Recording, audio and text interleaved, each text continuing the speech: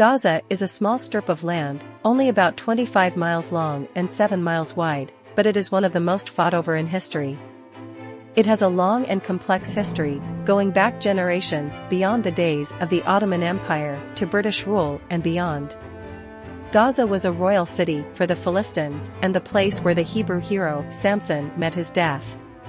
Since then, much blood has been spilled,